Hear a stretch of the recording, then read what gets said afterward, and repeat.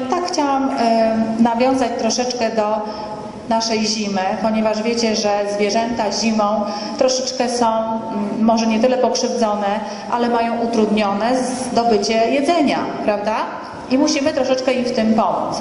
I dzisiaj dzieci z koła przyrodniczego przygotowały dla Was króciutkie przedstawienie na temat dokarmiania ptaków zimą.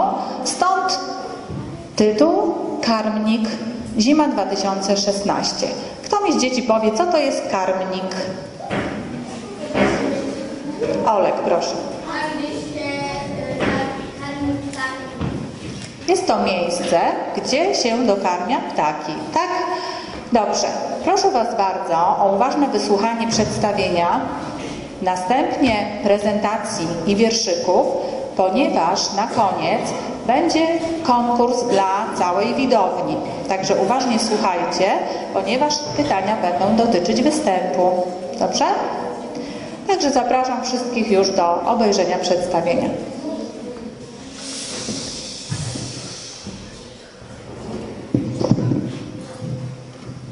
Choć wiem, że nikt na mnie z radością nie czeka, przychodzę dziś do was z bardzo daleka.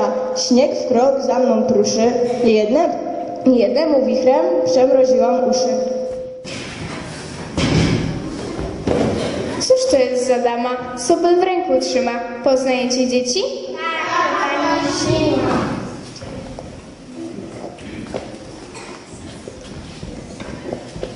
Jak to nikt nie czeka? My wszyscy czekamy. Sanki już gotowe przed sobą trzymamy. Tylko śniegiem posyp królowa zamieci, a zaraz na górkach będą wszystkie dzieci.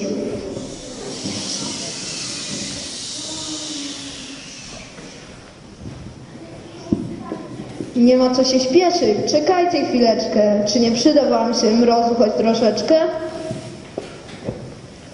Że się przyda. Weźmy go na sanki. Niech zamrozi rzeki w lodowate szklanki. Mroże bardzo ostro, dziedziska kochane. Czy jesteście dobrze, cieplutko ubrane? Bardzo dobrze, mrozie. Nic mnie dziś nie ruszy. Mam cztery szaliki, dwie czapki na uszy, trzy pary skarpetek, kurtkę na rzemyki, cztery sweterki, filcowe trzewiki i na każdej ręce po dwie rękawiczki. Za grubo troszeczkę. Musisz zdjąć przynajmniej tę jedną kurteczkę. Za dużo włożyłeś na siebie, mój złoty. Chyba chcesz się spocić i chorować potem. Nie ma co się guzdrać, szkoda każdej chwili. W tym dębie to nigdy z miejsca nie ruszymy. Bierzcie narto już dwie saneczki, ustawmy się rzędem, chodźmy na góreczki. Stop dzieci, patrzcie, ktoś za wami leci. Czy dobrze robicie? Ptaszki tak samo o głodzie zostawicie?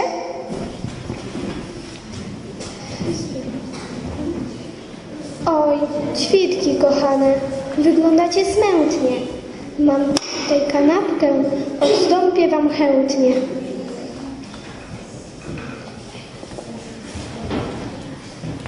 Mam w domu pszenicy dwa duże woreczki, wsypię z rana do szkolnej skrzyneczki. Co tam taka skrzynka? Gdy ja karmik mam, tu będzie stołówka, tu jeść ptaszkom dam. Mnie mama co rano zupki daje, daje, więc wam też przyniosę, do stołówki wstawię. Ptaszką zupę zimą? Pomyśl choć troszeczkę, przecież im zamarznie w lodową bryłeczkę. Nie martwcie się, ptaszki, przy nas nie zginiecie. Nie będziecie nigdy na zimowej diecie. Cieszę się ogromnie i dziękuję ślicznie. Wiosną wam zaśpiewam piosenkę rytmicznie. A ja sobie gniazdko zbuduję tuż obok na sośnie. Będą wam dzieciaki śpiewać radośnie. W naszej szkole każdy siądzie przy kominie. Kto zmarznięty głodny, przy nas nie zginie. Teraz chyba wszystko załatwione mamy, więc na sanki narty szybciutko wyruszamy.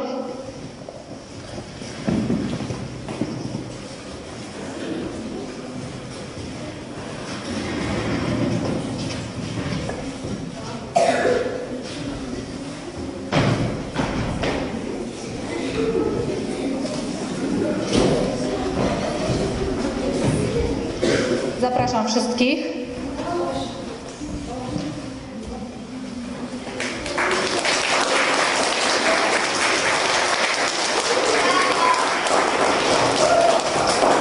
zapowiedziałam wcześniej, to jeszcze nie koniec. Teraz obejrzyjcie sobie e, wspólnie prezentację na temat ptaków zimujących w Polsce, czyli te, które zostają u nas na zimę i którym właśnie trzeba tej zimy pomagać.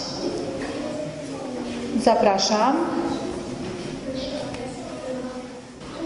Zima jest szczególną okazją, aby poznać ciekawy świat zwierząt, kiedy głód i chłód sprawiają, że maleje płochliwość zwierząt.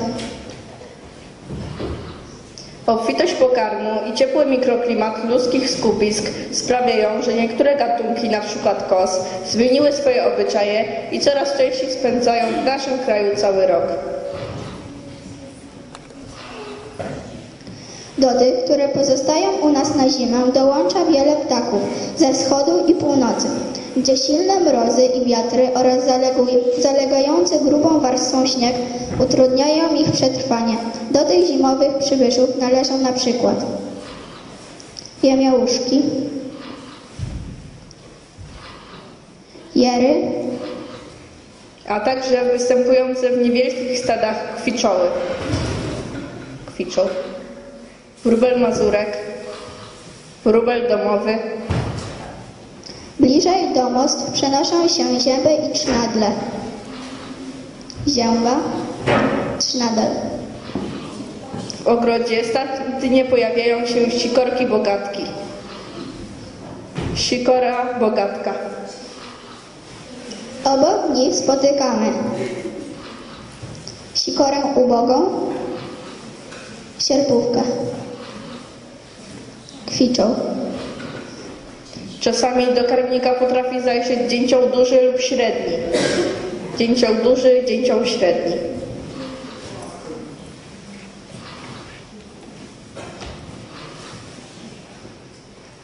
Wśród zabudowań zaobserwować można też krogulce. O tej porze nadlatują one w większych ilościach z północy. Polują przeważnie na wróble, które mogą zaatakować nawet w karmniku. Krogulec. Zimą często ubieramy się grubo, chodzimy skuleni, wyobrażamy sobie, że ptakom musi być o tej porze roku wyjątkowo ciężko. Ale nie jest tak źle. Przyroda wyposażyła ptaki w rozmaite zdolności, pozwalające im dać sobie radę. Te gatunki, które nie potrafią u nas przezimować, odleciały już w sierpniu i wrześniu i są teraz w Afryce, w południowej Azji lub choćby nad Morzem Śródziemnym. Zostało mnóstwo tych ptaków, które są dobrze przystosowane do warunków naszej kapryśnej zimy. Zimą dokarmiamy ptaki, jednak z naszej pomocy korzystają tylko nieliczni przedstawiciele zaledwie kilku, najwyżej kilkunastu gatunków. Łabędzie, sikory, wróble, kowaliki i dzięcioły. Reszta ptaków obywa się bez naszego wsparcia i szczerze mówiąc wcale go nie wymaga. Nawet najmniejsze mysi króliki ważą około 5 gramów, zupełnie spokojnie przesypiają 30-stopniowe mrozy. A żadnemu z ptaków wodnych tygodniami pływających wśród kawałków lodu nie, nie grozi wychłodzenie organizmu. Kuropatwy są po prostu dobrze przystosowane do takich warunków. Dla nich jest to zupełnie normalna sytuacja. Wiedzą, gdzie i kiedy szukać pożywienia, a także jak unikać nadmiernych wydatków energii, gdy jest już bardzo zimno lub wietrznie. Gdyby tak nie było, to albo wyginęłyby już dawno temu, albo spędzały zimę w cieplejszym niż nasz klimacie. Wskazówki dla dokarmiających. Pokarm dla ptaków powinien być jak najbardziej podobny do tego, który jedzą w naturze. Przede wszystkim nie może on zawierać soli, substancji konserwujących i innych dodatków chemicznych. Ptasi organizm nie jest przystosowany do ich wydalania, więc stają się dla niego truciznami. Najlepiej wysypywać ziarna zbóż, mogą być też kasze i płatki owsiane, ale bez żadnych dodatków. Nasiona zawierające dużo tłuszczu, takie jak słonecznik i siemię lianę. W karmnikach często wieszamy słoninę. Powinna być świeża i surowa, w żadnym wypadku solona lub wędzona. Oprócz słoniny może być łój albo wytopiony tłuszcz wymieszany z nasionami. Dla kosów, kiczołów, gili można wyłożyć suszone owoce jarzębiny, głogu, ligustru, także jabłka i rodzynki. Łabędziom w największe mrozy można dać ziarna zbóż i pokrojone warzywa. Chleb jedzony przez dłuższy czas i w większych ilościach im szkodzi. Produkty, którymi dokarmiamy nie mogą być stare, spleśniałe, skwaśniałe, zanieczyszczone. Powinno się je podawać w niewielkich ilościach, by się nie psuły leżąc dłuższy czas albo nie zamarzły. Koniec.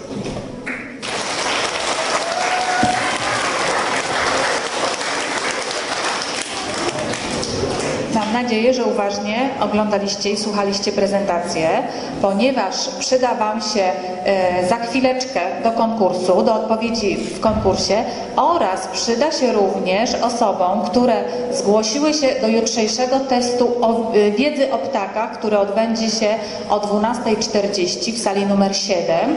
Może jeszcze są chętne osoby, także serdecznie zapraszam uczniów z klas 4-6. Jeszcze dzisiaj możecie się zapisać e, do udziału w tym konkursie. A teraz, tak jak wcześniej zapowiedziałam, ogłoszenie wyników konkursu plastycznego. E, W ciągu tygodnia, bo tyle czasu miały dzieciaczki z klas 1-3, dzieci miały wykonać pracę plastyczną pod tytułem Ptaki w karmniku. Prac spłynęło 11.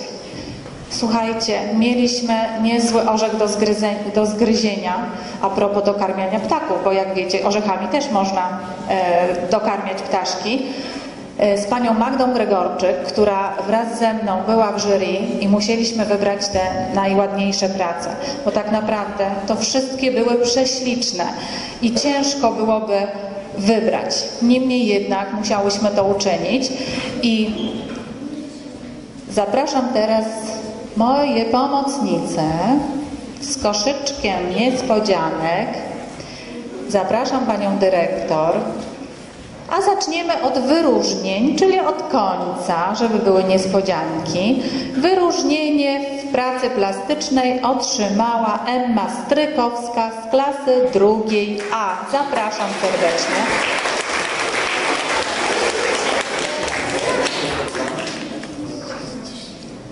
Gratulacje. Ciebie zostań tutaj z nami. A może tam sobie przejdź, żeby było więcej miejsca. Drugie wyróżnienie w konkursie otrzymała Natalia Szydło z klasy pierwszej.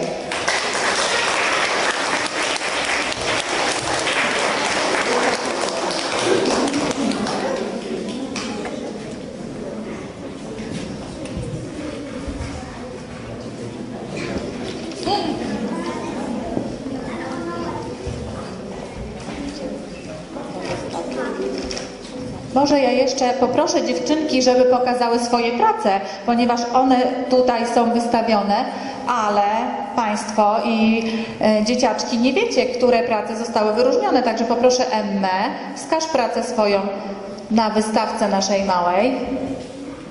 Ta praca, duża niebieska na dole, to jest praca Emmy. Wielkie brawa. Praca Natalki. Która praca Natalki? Wielkie brawa również dla Natalki.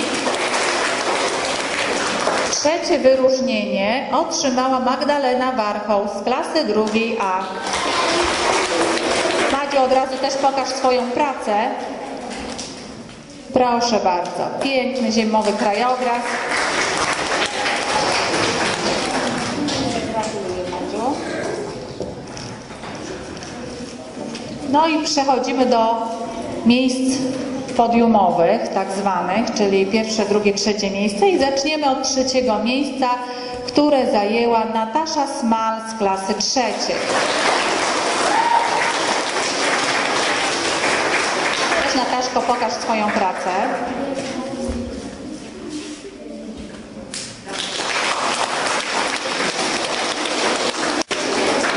Gratulacje. Drugie miejsce zajął uczeń również klasy trzeciej Maciej Kęska.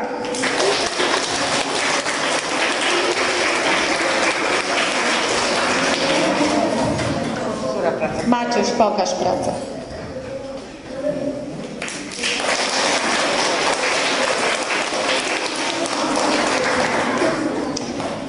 Gratulacje. No i nagroda główna. Pierwsze miejsce zajęła uczennica klasy również trzeciej, Hanna Monkosa. Wielkie brawa.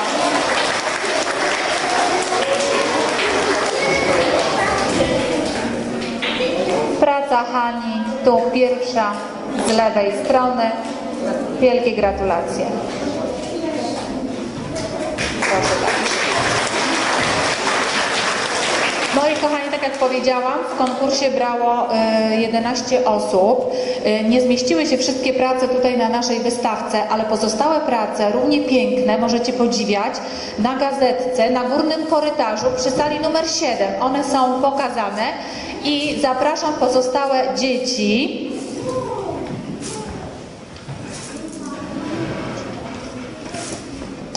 Czyli Jasia Monkosę, Laurę Witkus, Mikołaja Witkus, Dawida Gałka i Julię Sobol. Zapraszam te wszystkie dzieci, bo im też należą się wielkie brawa za udział i za piękne prace.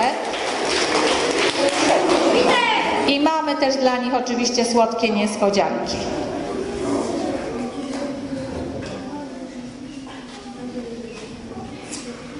Jeszcze raz dla wszystkich uczestników wielkie brawa.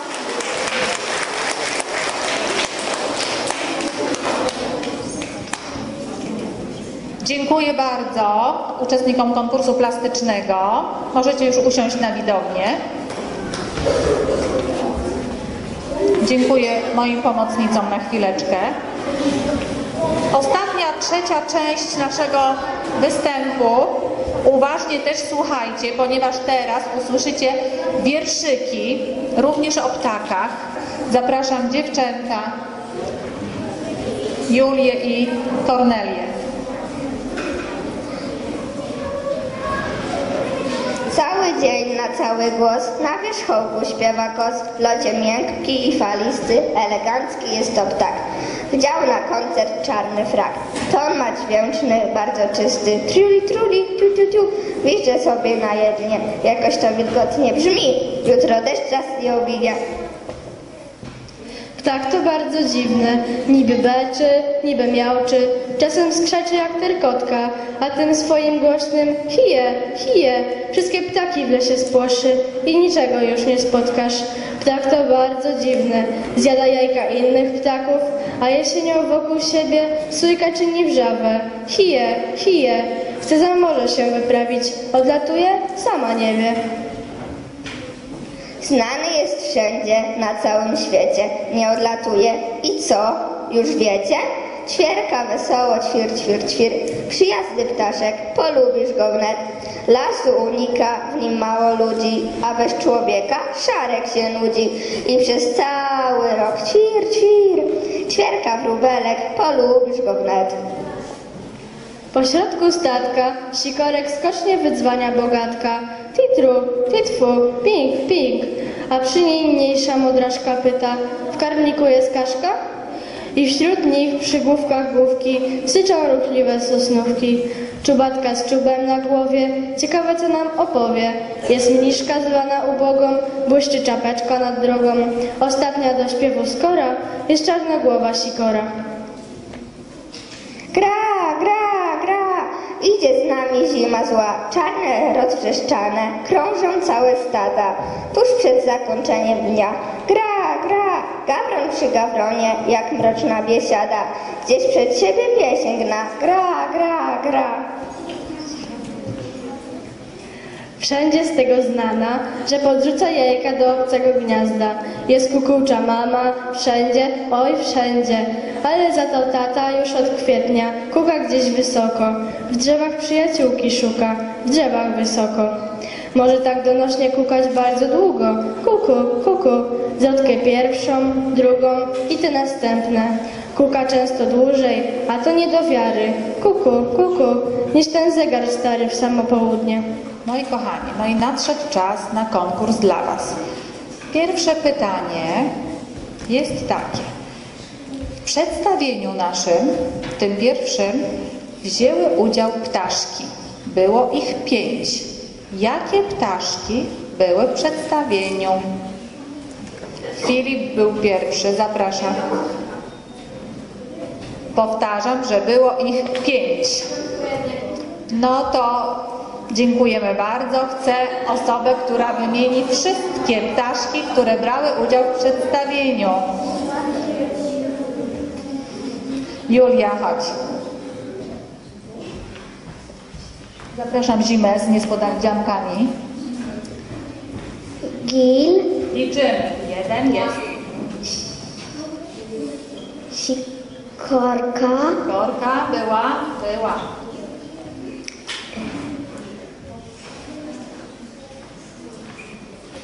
Jej, przedstawieniu.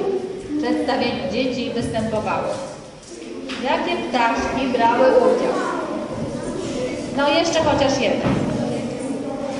jejuszka, Jemiołuszka, tak? Proszę bardzo, jest poczęstunek. A myślę teraz, że znajdzie się jeszcze jedna osoba, która uważnie oglądała i wymieni wszystkich. Krzysiu, chodź.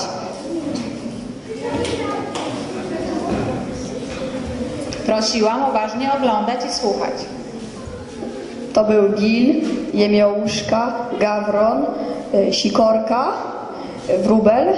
Tak, tu y, jest troszeczkę, jeden ptaszek nam się nie zgadza. On rzeczywiście był czarny i też specjalnie nie miał napisu, bo sikorka, jemiołuszka, wróbelek i gil miały napisy na bluzeczkach, tak? I one były łatwe do odgadnięcia. Natomiast jeden ptaszek nie miał napisu. Krzyś powiedział, że jest to gawron. Czy ktoś myśli inaczej? Marysiu? A z prezentacji, jak był ubrany? Ja zapraszam tu Huberta do nas w swoim ubraniu.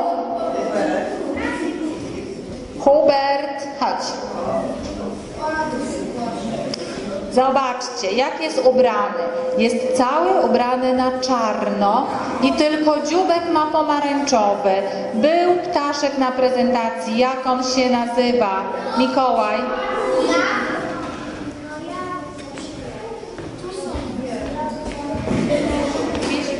dzięcioł, No niestety nie. Dzięcioł troszkę jest bardziej kolorowy, trochę białego ma, trochę czerwonego. Ola, chodź. Bardzo dobrze, piękne brawa dla Oli. To jest kos, moi drodzy, tak wygląda kos. Cały czarny, tylko z pomarańczowym dzióbkiem. Dziękuję Hubert. A dla Was oczywiście nagrody. Kolejne pytanie. W prezentacji była mowa, że nie wszystkie ptaszki u nas zostają na zimę. Niektóre od nas odlatują. Odlatują, ale gdzie? No, Dawid Borowiecki był pierwszy.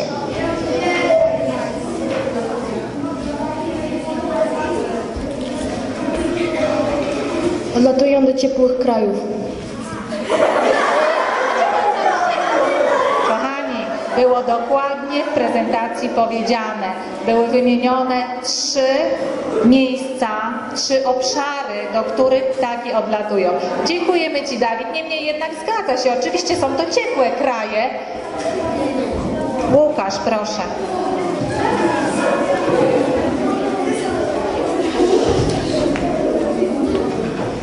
do Afryki i Północnej Azji i no, Południowej Azji i Jeszcze morze, morze. Śródziemne. Dobrze, brawa dla Łukasza. Jest to Afryka, Południowa Azja i obszary Morza Śródziemnego. Dziękuję bardzo, proszę. Nagroda pocieszenia. Słuchajcie, następne pytanie. Było również cały czas mowa o dokarmianiu ptaków. Chciałabym się dowiedzieć, czym te ptaszki możemy dokarmiać. Też bym chciała, żeby to były trzy chociaż pokarmy, które możemy wsypywać do... No to dziewczyny mi teraz pomogą, bo ja nie wiem. Ziarna. Kogo wybrać? Oskar. Oskar. Chodź, Oskar.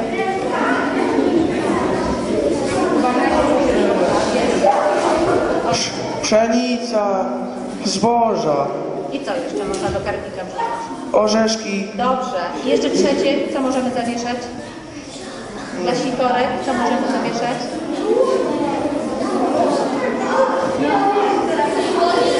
kurde, tylko trzy wiem.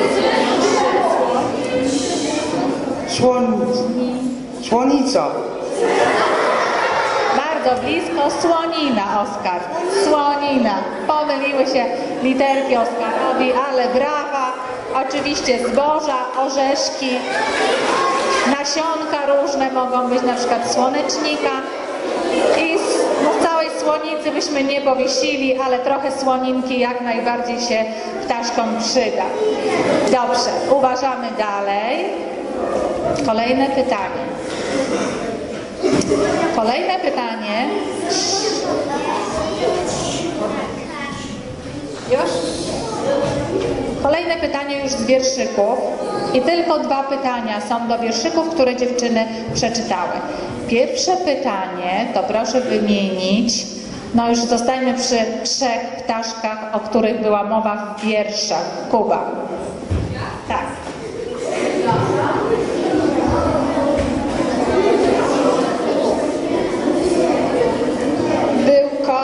Była y, jemiołuszka i sroka.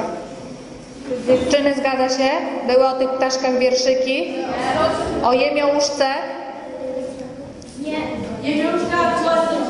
No niestety, Kuba, nieuważnie słuchałeś. Kasia, proszę. Jakie ptaszki pojawiły się w wierszykach? Rubel. Rubel. Tak, był. Do mikrofonu, Kasia. No. Odgłosy dziewczyny wydawały. Może pokojaście troszeczkę.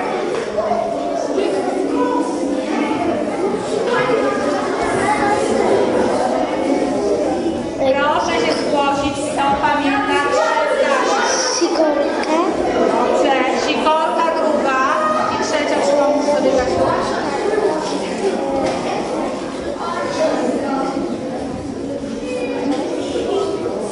Kos. I kos, dobrze. Brawa.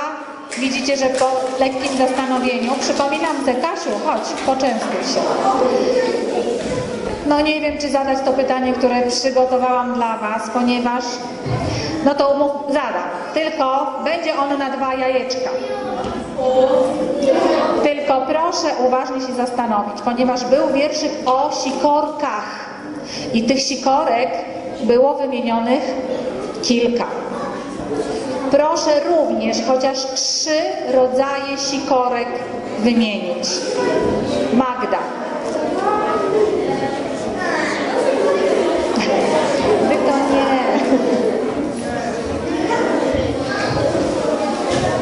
Dobrze, jak Magda nie odpowie, Kamil to dopowiedz, tak? Proszę bardzo, Magda. Tak, przodem. Jakie sikorki?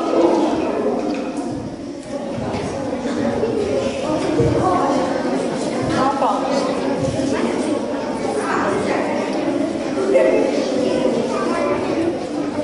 No to pomyśl troszeczkę jeszcze. Dobrze, jak się przypomni, to się zgłoś, dobra? Kamil chce odpowiedzieć.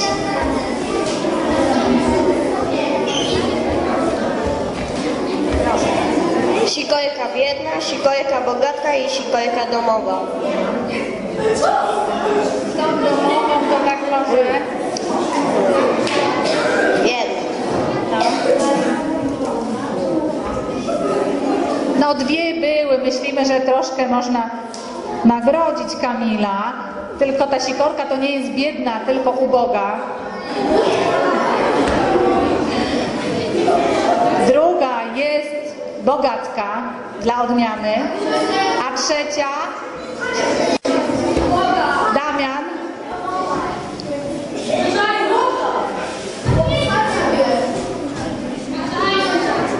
No wy tu już macie jakieś niespodzianki, ja bym chciała ktoś, kto jeszcze nic nie do, dostał. Natalko, ty pamiętasz jakie były sikoreczki? Dwie. To posłuchajcie. Julia wam przeczyta. Może zapamiętacie. Posłuchajcie, jakie były sikorki. sikorka bogatka, sikorka modra, sikorka sosnówka, sikorka czubatka, sikorka uboga.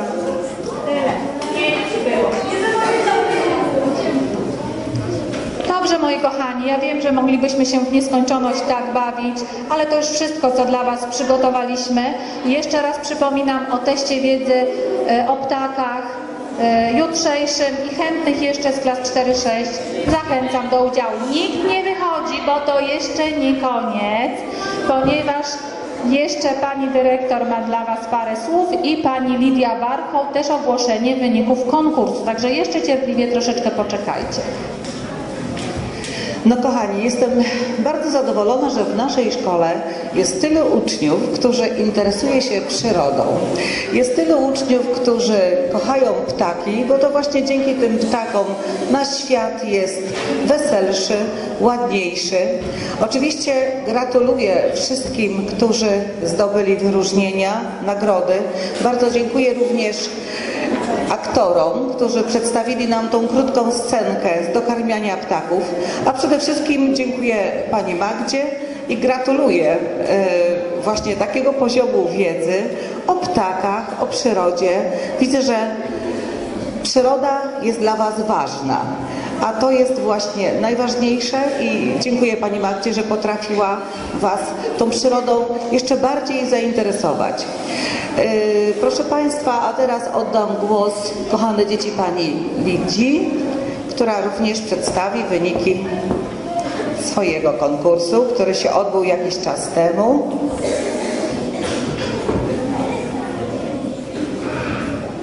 Słuchajcie, jak wiecie, odbył się konkurs zorganizowany przez samorząd e, uczniowski Poczuj Magię Śmio- Świąt na najładniejszą bożonarodzeniową dekorację sali lekcyjnej.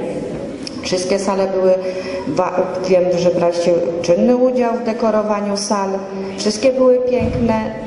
No, ale mamy tak, wyróżnienie dla klasy czwartej, e, wielkie brawa i nagroda. Może pani przekaże pa- wychowa- albo przewodniczącemu klasy, pro- prosimy, z klasy czwartej jest?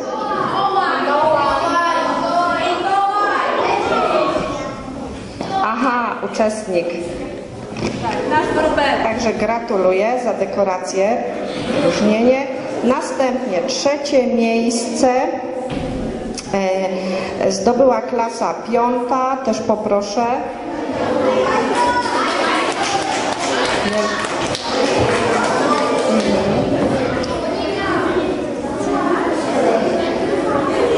O, jest.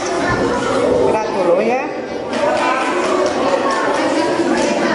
Drugie miejsce e, dla e, klasy szóstej. Też poproszę przewodniczącą. Czego? Przepraszam.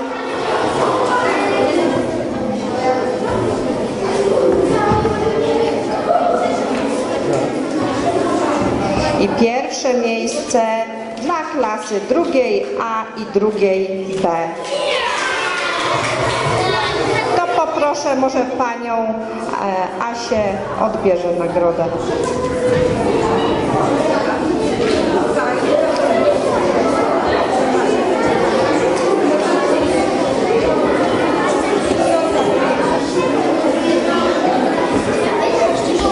Bardzo. Proszę. I przy, tu, to jest dyplom, a to mamy dla, dziękuję Wam bardzo, wielkie brawa, dru, drugie klasy pięknie udekorowały salę, własnoręcznie wykonane dekoracje. Ale momencik, proszę jeszcze zaczekać, ponieważ chciałabym wyróżnić szczególnie klasę pierwszą za uzbieranie bardzo dużej ilości pieniążków na Górę Grosza. To była akcja Góra Grosza wcześniej. Bardzo dużo uzbieraliście, jesteście przykładem e, w szkole. I to jest taki właśnie skromny upieminek, przekazuje Pani Eli, a Pani Wam w klasie przekaże. Bardzo wielkie brawa dla wszystkich. Dziękuję bardzo.